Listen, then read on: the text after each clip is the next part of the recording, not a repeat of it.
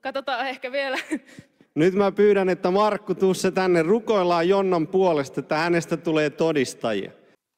Oli siis tämmöinen Jonna tuolla lavalla just kertonut, miten hänen jalkansa yliluonnollisesti piteeni. Ja nyt sitten Markku Koivisto nousee lavalle. Tämä asia vähän kiinnostaa mua siis sen takia, että no toi on tosi kiinnostava pastori, en nyt käy hänen rikoshistoriansa tässä läpi, googleta se, mutta myös se, että minä kävin joskus tuon tilaisuuksissa teini-ikäisenä, siis kerran muistaakseni olin, mutta ihan niin kuin toista sataa kilometriä paljon oli matkaa, että sinne oli tosiaan oli kauas mentävä. Ja se, että tämä äijä on ihan täysi friikki, ainakin ollut tuon Nokia-mission aikoihin, en tiedä nykyään, ihan täysi friikki plus vielä sitten kaappihomo, niin tota, silti niin kuin se on ollut kaikille ihan ok, että tämmöisen tilaisuuksissa käydään, että vaikka näistä nyt jälkeenpäin, niin näyttää olevan YouTubessakin videoita vielä tänäkin päivänä näistä 2000-luvun alun tai vuosituhannen vaihteen hörinöistä, niin ei sitä oikein niin kuin kaiton liikkeen ulkopuoliset ihmiset vissiin kuitenkaan, niin kuin, ei näistä tullut mitenkään viraaleja, nämä on ihan niin kuin muutaman kymmenen katsojakerran videoita tälläkin hetkellä tämmöiset YouTubessa, missä tämä tyyppi sekoilee, no tällä videolla on nelisen tuhatta katsojakertaa, mutta tämä oli siis kaikille hellereille ihan ok, siellä se väkevä veli vaan saarnaa väkevästi Jumalan sanaa ja niin edespäin. Ja esimerkiksi minulle, jonka molemmat vanhemmat on evankelisluterilaisia pappeja, niin ollut mitään ongelmaa sitten päästää alaikäistä lastansa tämmöiseen tilaisuuteen, että tämmöisiä kiinnostavia nuoruuteni muistoja täältä videolta, mutta katsotaan. Todistaja sinne koulumaailmaan. Näin mä koen.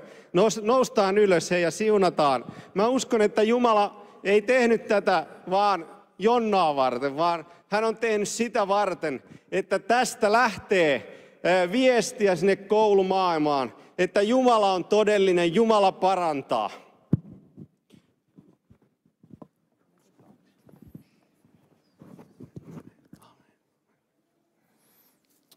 Tässä on kuka aika iso vo- voima.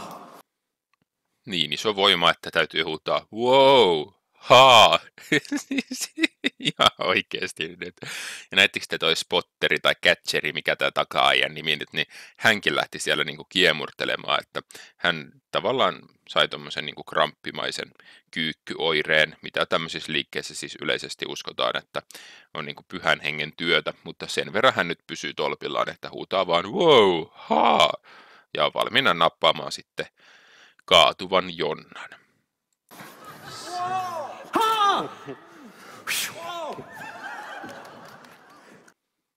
Eli joo, ja siis Markku on tuo oikeanpuolinen äijä tossa, niin hän siis suhahti sille kaatujalle, että sai hänet kumoon. Siis, siis mitkään sanat ei riitä kuvaamaan, miten hemmetin ääliömäistä tämä toiminta on. Ja silti se on niin kuin kaikille ihan ok, että siellä se väkevä veli nyt sitten saarnaa lavalla ja hänen kauttaan nyt Jumalan voima vaikuttaa. Siis hellarit ihan oikeasti uskoo, että tämä toiminta tässä nyt on pyhää ja sen alkuperä on Jumala. Ja kun se kuitenkin johti siihen, että hihuloidaan ja tehdään kaikkea älytöntä ja lopuksi niin kun, ää, sitten sodomisoidaan oman seurakunnan jäsen ilmeisesti, niin, tota, noin, niin vähän niin kuin nämä rikokset on sitten helluntai-mielessä ylilyöntejä, ei rikoksia, vaan ylilyöntejä. Ää, että ei nähdä sitä yhteyttä, että jos ihmisen elämäntyö on sitä, että hän on lavalla sekaisin kuin seinäkello, niin lopulta tulee olemaan lavan ulkopuolellakin sekaisin ja tyhmä. Mutta joo, siis kattokaa nyt, miten toi Markku tuossa nyt lähtee niinku toikkaroimaan ja sekoimaan ja eihän pysy niinku tolpillaan ja löydä suuntaa ja muuta, että tämä on ihan käsittämätöntä pervoilua. Mitä? Ottakaa teki vastaan nyt. Tänne pitää rakentaa kaiteet tänne. Ota vasta. Ho! Yes. On se kyllä mahotonta meininkiä. Ihan niin kuin, tiedättekö te apostolien tekojen luvussa 17, sanotaan näin. Ja he matkustivat Amfipolin ja Apollonian kautta ja tulivat Tessalonikaan, jossa oli juutalaisten synagoga. Ja tapansa mukaan Paavali meni sisälle heidän luoksensa ja sanoi, haa, pshuh, shuh, haa, ottakaa vastaan, haa, pshuh, pshuh, shuh. Ja sitten ihmiset kaatuivat. No joo, ei siellä sanota niin. Ei apostolit tehnyt noin. Ihan oikeasti tällä helluntalaisuudella ei ole mitään tekemistä kristinuskon kanssa. Kun kerrotaan, miten kristinuskoa levitettiin apostolien aikana, niin sanotaan, että tapansa mukaan Paavali meni sisälle heidän luoksensa ja keskusteli kolmena sapattina heidän kanssansa, lähtien kirjoituksista, selitti ne ja osoitti, että Kristuksen piti kärsimän ja nouseman kuolleista, ja sanoi, tämä Jeesus, jota minä teille julistan, on Kristus. Noin siis apostolien tekojen luvussa 17, niin Paavali puhuu ihmisille järkeä ja selittää vanhalla testamentilla, kuka Jeesus on. Eikä sihise ja suhise. Ja sitten kun Paavalin aikana yksi ihminen kerran kaatu, niin hän ei kaatunut lavalla sihinän keskellä, vaan kaatui ikkunasta ulos ja kuoli. Ja Paavalilla todella oli voima, jonka hän oli Jeesukselta saanut, jolla tämä ilmeisesti tämä kuollut ihminen, eikös hän ollut ihan kuollut ainakin elottomaksi mennyt, niin kuitenkin joko herätettiin kuolleesta tai parannettiin, enpäs muista, muista tota, kumpi se nyt tarkemmin siinä tarinassa on, mutta ö, se oikeasti tapahtui silloin, kun Markku Koivisto on yrittänyt herättää kuolleita ja ja tota, parantaa sairaita, niin nämä asiat ei tapahtuneet. Ja Markkuhan tuossa siis myös puhaltaa ihmisille pyhän hengen. Tai siis on niin tekevinään.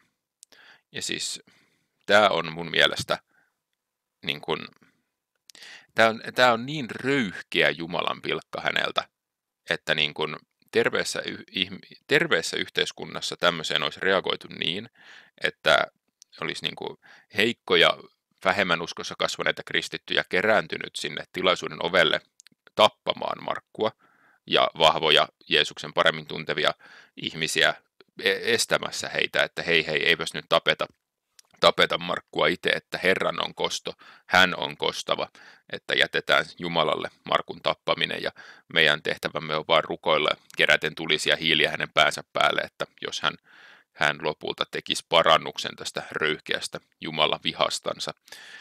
Mutta ei, me ei eletä tämmöisessä maailmassa, vaan me eletään maailmassa, jossa voi sanoa haa, psh, haa, psh, niin kauan kuin haluaa ja kukaan ei reagoi siihen mitenkään. Toi pyhän hengen puhaltaminen on siis asia, minkä Jeesus teki ja kukaan muu ei koskaan. Johanneksen evankeliumi luku 20, jakeesta 19 jakeeseen 23. Samana päivänä, viikon ensimmäisenä, myöhään illalla, kun opetuslapset olivat koolla lukittujen ovien takana juutalaisten pelosta, tuli Jeesus ja seisoi heidän keskellään ja sanoi heille, rauha teille. Ja sen sanottuaan hän näytti kätensä ja kylkensä. Niin opetuslapset iloitsivat nähdessään Herran. Niin Jeesus sanoi heille jälleen, rauha teille, niin kuin isä on lähettänyt minut, niin lähetän minäkin teidät.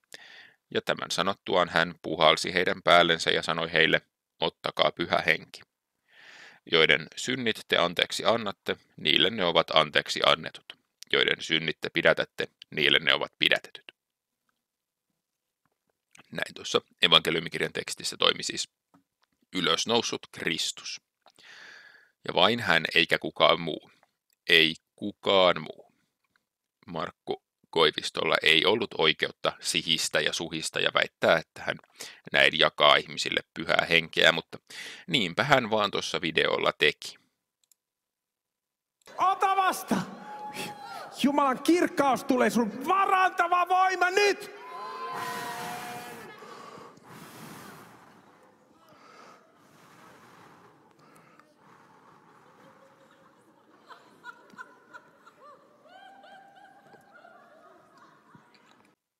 Toi nauru on kyllä hyvä. Se on ihan oikeutettu, että tuolle äijälle nauretaan. Tosin oikeasti hän ei niin tee, vaan se on hurmosilmiö, että yleisö on mukana siinä, siinä jutussa ja kannattaa sitä ja he kokee tämän naurun todennäköisimmin johtuvan siis tästä teidän, heidän hurmostilastaan, minkä luulevat olevan Jumalan aikaansaamaa.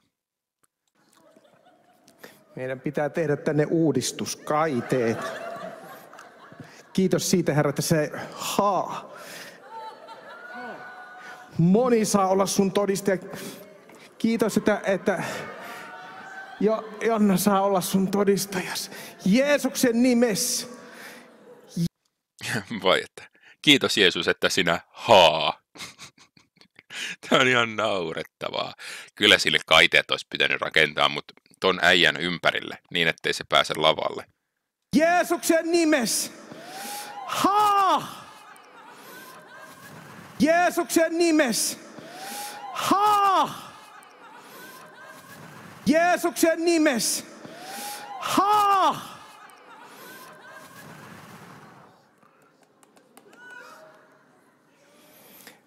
Puhuttelen sinua, Suomi. Suomi kuulee.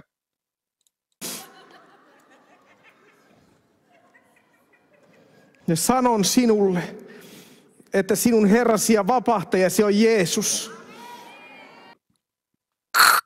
Ai se, minkä nimessä sä sanoit just haa. Ei ole ketään muuta.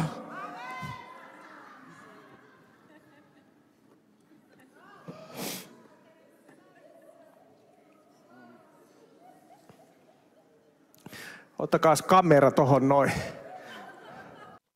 Tämä jotenkin paljastaa mun mielestä sen, että se äijä tietää itsekin, että kuin manipulatiivista hommaa se on, että se ei riitä. Siis hän on puhunut koko ajan niin, että me kuullaan hänen sanomansa, niin se ei niin riitä hänen mielestään siis hänelle, vaan täytyy saada just semmoinen katsekontakti, että voi katsoa sitten katsojaa silmiin ja osoittaa häntä sormella, että tämä nyt varmastikaan ei ollut se tapa, millä esimerkiksi apostolit aikana evankeliumia julisti, vaan ei tarvinnut koskea, tuijottaa, sihistä, suhista, vaan riitti, että puhuttiin totta ja välitettiin ihmisille tietoa Jumalasta.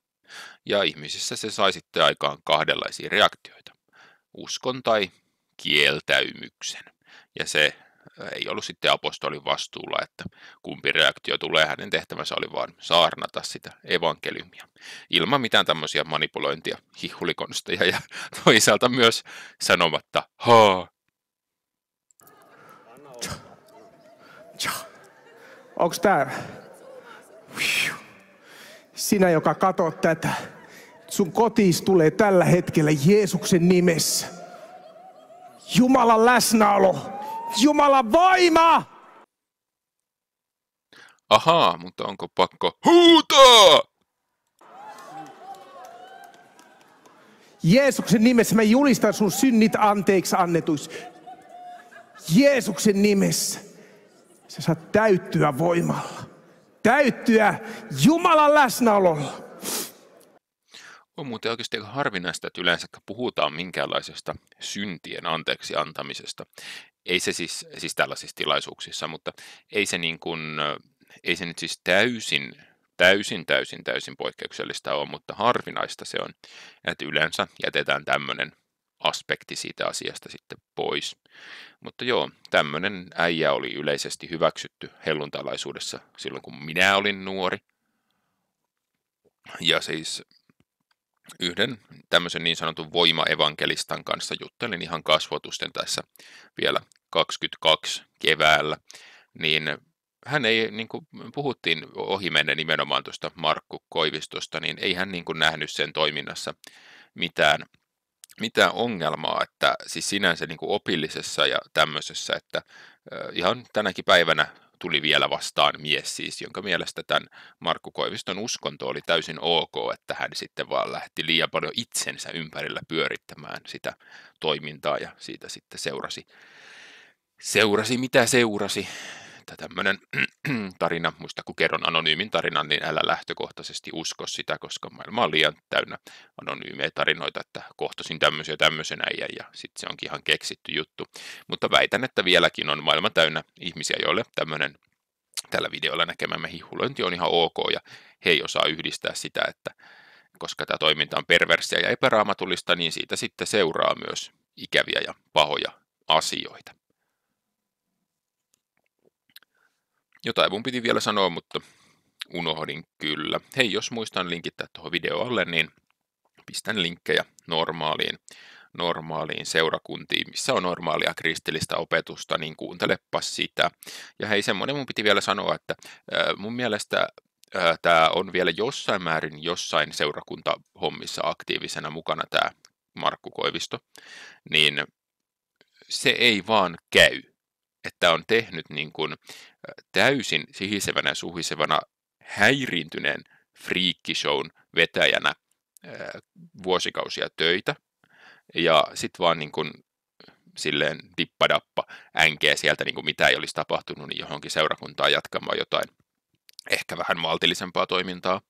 Eli tämän ihmisen hän niin kuin täytyisi kohta kohdalta niin kuin tehdä parannusta tästä hänen sekoilustaan ja opetuksestaan julkisesti ja niin kuin kumota se kaikki hörhöily ja sekoilu, eikä vaan painaa sitä villasella, vaan niin kuin sanoa, että hei, minä tein röyhkeä Jumalan pilkan suhisemalla ja sihisemällä, minä tein röyhkeä Jumalan pilkan lumeparanteena, lume, sinä lumet tänä, lumet tona, ja väitin, että kuolleita herää, ja hihuloin ja sodomisoin, ja puhuin varmaan, eiköhän puhunut kielilläkin, ja mitä lie, mitä lie että hänen pitäisi niin kuin käydä yksi kerralla läpi kaikki ne rikokset, mitä hän on lavalla tehnyt, ja niin kuin siis hakea vaikka kirjansa pois kirjastosta väkisin ja repiä ne ja polttaa tuhkaksi.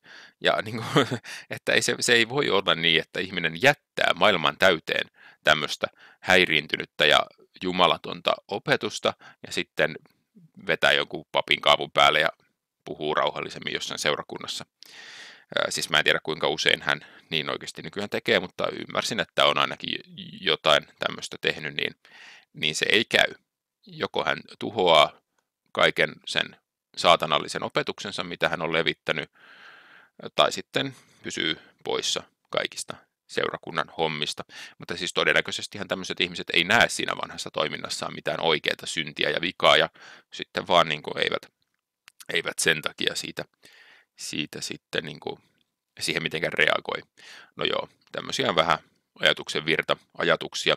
Jos Markku itse näet tämän, niin muuhun voi olla kyllä sähköpostilla yhteydessä, että mm, kiinnostaisi kyllä niin kuin kuulla, kuulla, että tota, onko jotain tämmöistä julkista parannuksen tekoa sitten tehnyt tai aloittanut tai muuta, mutta ainakin vielä tänä päivänä niin sun hyvin haitallinen ja ongelmallinen kirjas tai parikin semmoista, niin löytyy ihan kirjastosta, että niin kauan en Markku hyvä ota sua vakavasti, kun nämä kirjat on vielä fyysisesti olemassa tässä meidän universumissamme. Mutta pistä sähköpostia, jos katoit videon.